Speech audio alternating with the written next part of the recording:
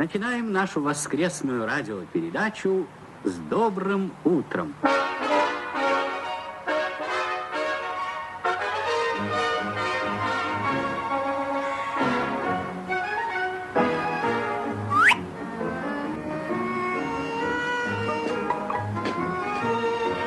Ты что?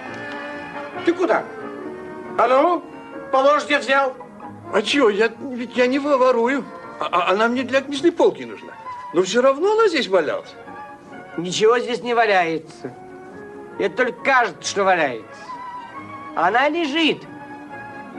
Она денег стоит. Ну, я же плачу. Вот рубль. А что ним делать буду, с рублем? Тем более один. Три давай. Три рубля за доску. Дороговато. А я тебе в придаче еще что-нибудь дам. Кран водопроводный хочешь? Благодарю вас, у меня есть. А, так и быть. Я тебе знаешь, что дам? Что? Ключ новый, разводной, шведской.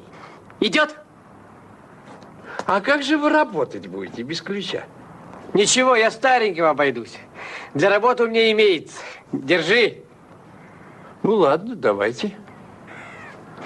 Я пойду. Как пойду? Ключ новый совсем.